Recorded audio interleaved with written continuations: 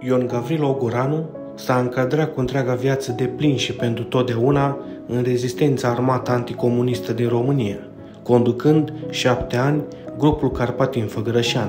Organele securității au încercat în zadar să-l captureze timp de 29 de ani.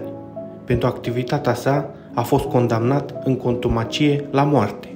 Securitatea nu mai știa despre Ogoranu, nici măcar dacă trăiește sau a murit, dacă mai este în țară, ori a reușit să treacă în Occident. Președintele american Richard Nixon vizitase în august 1969 România, într-o întrevedere istorică cu Nicolae Ceaușescu și îi înmânase dictatorului o listă cu numele de anticomuniști români despre a căror soartă președintele american se interesase personal. Printre aceștia se număra și Ion Gavrilă Ogoranu.